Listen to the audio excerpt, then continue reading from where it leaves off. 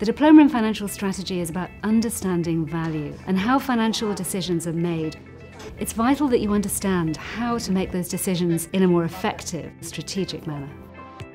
The biggest issue that executives face is when something unexpected happens and you have to think your way around it. So, this isn't just a practical tools based course. We want people to be able to solve problems in the future. You should be able to think like a management consultant and understand the kind of decisions that a chief financial officer makes. The programme is structured around four modules. We start with a broad look at strategy, and then we take a deep dive into business finance as a subject before looking in greater depth at financial strategies for growth. Everything from mergers and acquisitions to joint ventures and strategic alliances. The fourth and final module gives you an opportunity to look at corporate valuation. Four modules over a year is a good pace. It allowed me to balance my career, my family, and also my studies. You do have to work hard, but the sense of achievement is quite outstanding.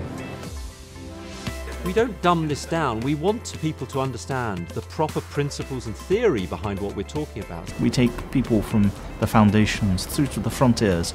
It has such a great coverage of both practical and theoretical in finance. Research and teaching that I don't think any other course in the UK or in Europe does at that level. This is a course for executives or senior executives who are quite experienced in finance.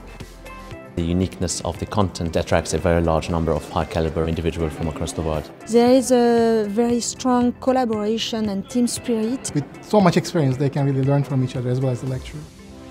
The end of this programme, you should have a deep understanding of how you can play a part in financial decision making.